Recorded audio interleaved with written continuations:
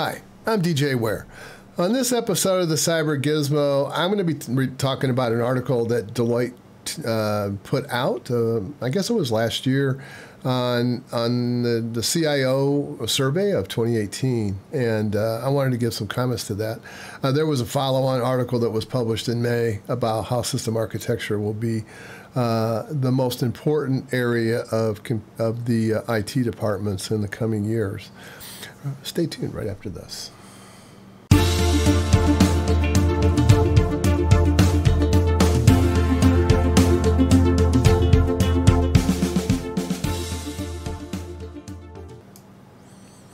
I think I probably confuse a lot of people on this channel because some of them think I'm a programmer, some of them think I'm a sysadmin, some of them think that I'm an operations, some think that I'm in. I don't. They don't know what I am. Uh, but uh, yeah, system architecture kind of is an umbrella over all of that. So, but is it a science? Is it art? Is it finesse? This is just junk, worthless. So we're going to talk a little bit about that. But before we do, I wanted to talk about a little bit about this uh, survey a little bit. One of the quotes in there was kind of interesting. It says that uh, one of the CIOs said th- that he prefers that we provide the link between technology and business performance while relying on external partners for technological capabilities. Well, I don't see how you can do that. That's a conflict. Um, the external partners are going to be motivated by profit, and they're going to be motivated to either making you spend more than you need to or they're going to be uh, mo- motivated to sell you something that maybe you don't need but convince you that you do. So I don't think that's a good strategy, but that's just my opinion. Another quote from a CIO is IT is being asked uh, into business discussions as a partner. Well, that's something that we've always wanted, right? I mean, that I mean, as far as IT is concerned, we've always wanted to be a part of the business. But in order to play that role, you need to really understand the facets of the business that you are supporting because IT is a support role. You need to have as much knowledge, at least a base knowledge of those areas of, if it's not your business, then the businesses that you are supporting external to your company. Uh, in the third item they talked about in here was, and this was the biggest worry that the CIOs have, is that these small startup companies are rapidly disrupting the older ones that have large IT infrastructures, complex systems, and uh, that have no future proof designs. That is, uh, they're expensive to maintain and expensive to change. You know, uh, but my comment to that is whose fault's that? I mean, the fact that you have complex systems and they're not future proof that indicates that you're in a mode of maintaining your systems and not growing your systems. Just saying. Some of the facts in the Deloitte uh, 2018 surveys of CIOs, there was 1,450 plus respondents, and the big surprise, well, it wasn't really a big surprise to me, but it said 54% of them said they did not believe that their current systems would meet the current and future needs of their business. Wow. Now, in baseball, that would be a pretty good batting average, but in business, I would call that a failure. Uh, and, you know, I, I don't know if the CIOs are looking at maybe predecessors as the blame for that, but, you know, they're the ones sitting in the driver's seat. Why is that? I mean, they really they need to answer that question themselves: is why are their systems in that kind of a state? In fact, the whole entire IT department ought to stand up and answer that question. So yeah, let's talk about complexity for a moment. Yeah, it's a bad idea. Uh, just like this guy that's trying that's tied himself to a is riding a bicycle tied to the wing of a plane. That's only going to end in disaster. So yeah, that's a bad idea. Complexity bad. Simpl- uh, and this is Edsger Dijkstra. Um, he said that simplicity is a great virtue, but it requires hard work to achieve it and education to appreciate it. And to make matters worse, um, complexity sells better. And that sure is true. I've seen that many times. If you have two products of equal capability, the customer will always pick the more complex one because they associate complexity with power. That's unfortunate because it's actually the opposite. It's the, the things that are more simple to operate are actually more powerful than the junked up complexity ones that have very little thought put into them. Yeah, complexity is not a desired state. It's usually the result of entropy uh, within the system's uh, code itself. Over time, it develops. It gets there's changes made without any thought, without you know, without without any uh, thought or effort given to see if that code might already be in it. It just somebody will go in and slap on something and hope that it works because they don't have a lot of time to fix it. Uh, and cybernetics showed a long time ago there was uh, I, I, think some studies that were done um, quite a long time ago that, that showed that there's a threshold a point where the human mind can't cope any longer with increasing complexity and just kind of shuts down. Uh, they're no longer able to make uh, uh, intelligent decisions once the complexity level it's called i mean we call it you know the, their eyes are rolling back in their head uh, but it, when you reach that level of complexity, you've lost the people that need to make the decisions about the systems. So it's really bad from from two different perspectives. So yeah, the other one is uh, this is my this is my tenant: fast, cheap, or good. Pick any two. Um, fast and good, very expensive. Fast and cheap, not any good. it's not something you're probably going to want. Cheap and good, not happening anytime soon. Those take time to build. And uh, good, fast, and cheap, that's hallucination. Uh, I've seen a lot of managers that say, oh, I want all three. Good luck. You'll never get it. Um, you're just dreaming. And sometimes an architect, like I, I got called in one time to go look at a customer problem because they I didn't know the customer, I hadn't worked with them before. They just wanted a fresh set of eyes to look at it. Someone to come in and, and just take a look at it and, and see what was going on with it and see what their impressions were. And so I went down and uh, I spent I think it was a couple of weeks there looking at the problem. And, and I asked him, the first thing I always do is, okay, what's the problem? And it was taking 24 to 48 hours to process orders. This is an aircraft manufacturer. This is for military aircraft. And those are not simple. There are a lot of pieces in a military aircraft. Um, so I asked it one question, how long did it used to take? And they told me, oh, about four to six hours. And I was like, wow, that's a huge difference. And, uh, and so I dug into it a little bit. I, I, didn't give an answer right away. I said, well, let me take a look and uh, we'll see what's going on with the software. And so we kind of ran it through some simulated orders that were similar to the ones that they were piling onto it at night and quickly surfaced a, a uh, systemic design problem with the software. There wasn't going to be something to fix because right at the core of it, it was choking itself to death on messaging that it was sending back and forth. Um, so I suggested, you know, I said, uh, so why are you using this new system? And then they just kind of looked at me dumbfounded, like, why would you say that? Aren't you from the company that's selling this thing? yeah, I am, but why are you using this thing? Uh, and I told them about the problem. I told them what was going on with it, and they said, "What do you recommend we do?" And I said, "Well, I think. I mean, I think. In all honesty, I think what we ought to do, since your software is better, let's move back to it." And put it on the new hardware that this stuff was supposed to run on. And and they were again they were like, well, if you think that is the right answer, and I said, I don't think they're going to fix that in the time before you go out of business. Um, so uh, it took us about six weeks to get it done and tested, and made sure it was all working fine. Not only did you get back to the four to six hours, we got down to 30 minutes. So they were happy. They were very happy. My employer, however, was not very happy.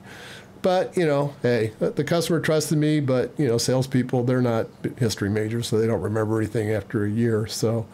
Uh, yeah, they forgot all about it because they were off to try to make new numbers for the next year. But oh well, at least the customer was happy, and that's all that matters to me. If you're working for somebody and they're paying you, that's who you work for, and that's. I had to tell my boss that because uh, that she asked. She said, how come you did that? And I said, well, I work for them, not you, and they're paying me. And I went down to see what the problem was, and that was the quickest solution that we had come up with, and they agreed it was. So that's what we did. And she was not happy, but I said, you know, I said, did you want to lose the customer? And, and then she kind of quieted down. Uh, yeah, that's more important. Keep the customer. Maybe you lose a sale. That's all right. Uh, simplicity. Uh, there isn't a one size system that fits all. I mean, you can't just, there's a lot of these guys that have been publishing books for years and years that say this is the way to do things. This is the way, and then, then three years later it changes. Then three years later it changes. Um, yeah, there's no one size thing that's going to fit every problem that somebody has because it's back to the old adage if all you know how to use is a hammer, then everything starts to look like a nail. Uh, instead, you want to build your systems in accordance with the, what the problem is you're trying to solve and the design constraints you have to work within. But keep in mind that you're going to try to build this thing in an, in an environment today where there's rapid change that's around you. So you have to be you have to plan that into the system. So you have I mean there's process changes, there's system changes, there's hardware changes, there's even management changes that occur. And some of their pet projects may be thrown out of the window by the next manager that comes in that doesn't want to spend the money to support it. So yeah, you want to build for that, and uh, keeping it simple makes it a lot easier to move to something new or to change something. Uh, now, I'm not suggesting micro microarchitecture so much. Uh, I think microservices can go too far. I mean, you can get so small down in the weeds that you're that you're just flipping messages around so fast and you're not doing anything any useful work. What I'm talking about is simplicity from the standpoint of component and components should be married to function. Sorry, but that works, and it always has. It might be old-fashioned, but that is a that is a design that has proven over over many many years that works. Uh, microservices architectures have their have their purposes, not, but again, it's not a one size fits all. Um, the other advice I have is uh, leave your pet theories and your pet solutions at home. This isn't a place to go try out new ideas. Uh, if you want to explore those, set up a lab, get some funding, try them out, see how well they're going to perform against something that's that is currently in in work, is currently working. Uh, but the biggest piece of advice I have to give to new architects is, is for the at least for your first initial meeting, keep your questions focused on the pro- trying to understand the problem, and shut up and listen don't jump to a conclusion. Don't start spouting out, here's how to solve the problem. It's natural for us to do that, but you'll miss finding out what the root cause of the problems are. And maybe there's other issues surrounding it that you don't know about and you won't know about until you start building a solution. So, yeah, at least for the first couple of days, tell the customer you're going to be listening. and You're going to be asking focused questions to get at that problem. You want to know more about it. You want to know every aspect of it and where it is uh, impacting them and also where it's originating. So the other problem you have is you got timeframes, budget, and expectations that you got to manage. Um, timeframes used to be and budgets used to be determined by IT when I started because IT owned everything as far as uh, the services within the uh, room. But as time went on, the user department started paying for it. Well, whoever pays for it is the one that that, that dictates what gets done. And so they will tell you, and I've heard so many people over my over the past few years, in the later years, was why do they get to choose how long this is going to take? Because they're paying for it. That's all they can afford. So you're going to have to you're going to have to figure out based on what they're trying to ask you to do, what you can accomplish. They might give you a laundry list of things they want done, and you're going to have to be prepared to go back and negotiate with them to say, hey, uh, in the time and, and budget that you have outlined here, this is what I can accomplish. I can do these at some other point down the road if you want when you have the budget and the time frames to support it. But I, you know, you, you need to pick and choose on this list.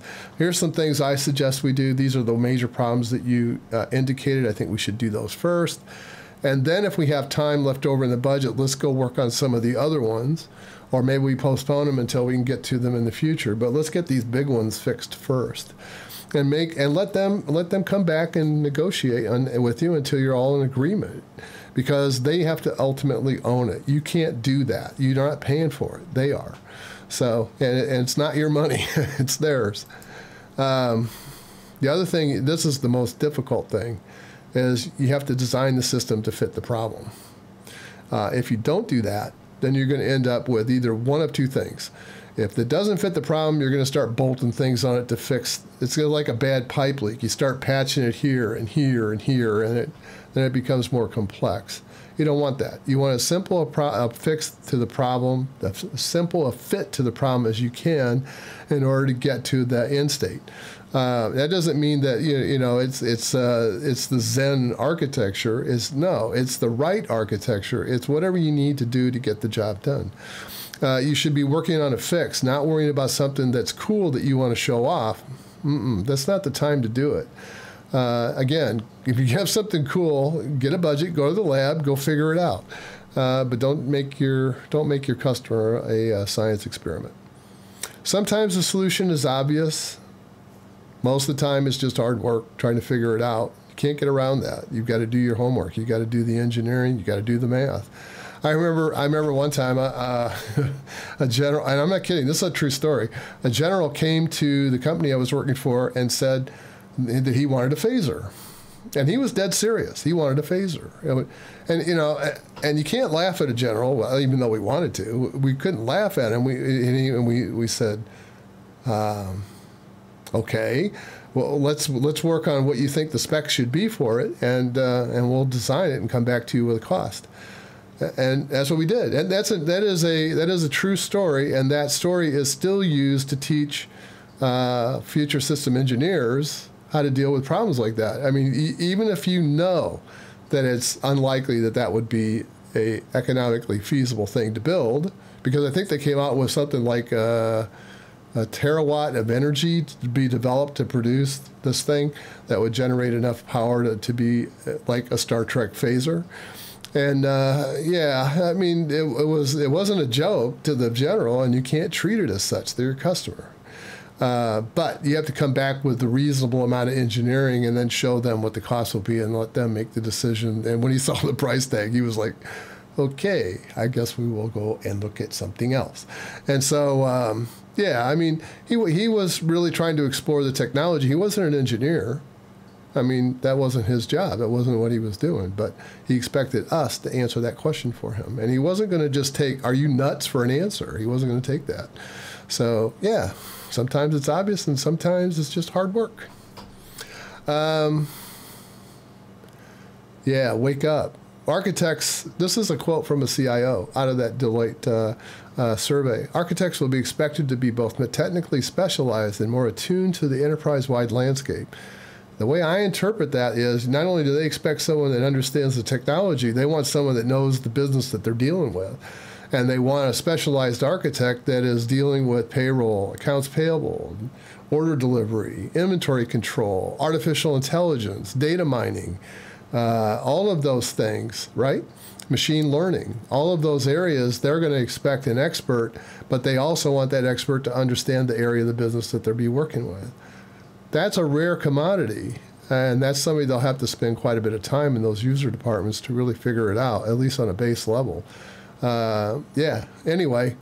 And if you fail to do that, yeah, you're going to be a part of the enterprise-wide landscape, as in planted somewhere out in the uh, in the uh, greenery outside of your building.